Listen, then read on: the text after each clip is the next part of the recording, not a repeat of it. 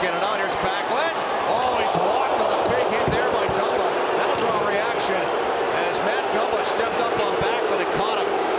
Mikael Backlund on his feet, headed back to the bench.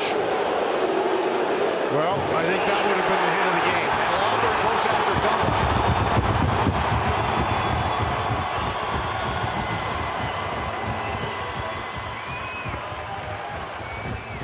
And I think Mikael Backlund went straight down the tunnel. He was bent over and barely made it to the bench.